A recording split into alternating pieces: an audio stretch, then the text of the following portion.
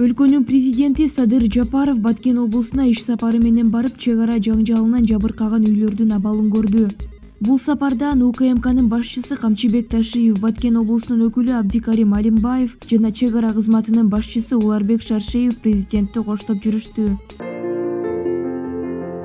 Жактуу үйүңөр жакшы. Элеби жакшы. Жакшы. Жакшы элеби үйүңөр канча комната сегиз комната эле мансардный мансардный дом эле карап турган болчу азыр эми күн жакшы болуп калды. Буюрса жакшы.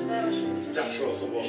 Жакшы. Биринчиден садыр жапаров жаңы үйлөрдүн курулушу менен таанышты. Себеби ушул эле жылдын сентябрь айында тажикстандын аскердик күчтөрүнүн басып кирүүсүнүн натыйжасында капчыгай айылындагы үйлөрдүн көбү талкаланган. Азыркы тапта жетимиш беш үйдүн курулуш иши жүргүзүлүп жатат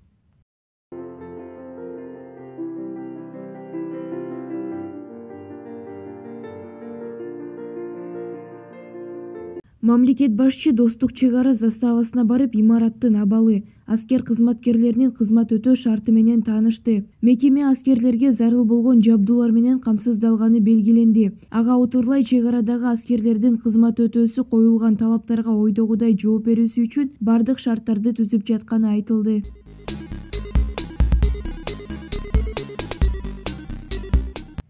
президент садыр жапаров карабак айылынын жашоочулары менен жолугушту.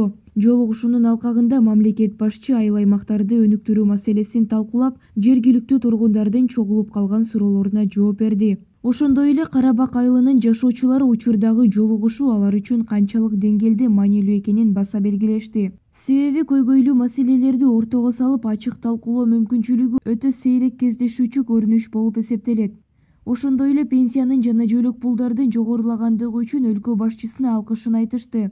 Баткен облусуна өзгөчө макам берилгенден тарта ал жактын жашоочуларынын жашоо шарты бир кыйла жакшырганын да баса белгилешти. Өлкө башчысынын айтымында мамлекеттин башкы максаттарынын бири карапайым элдин жашоосун жакшыртуу болуп эсептелет.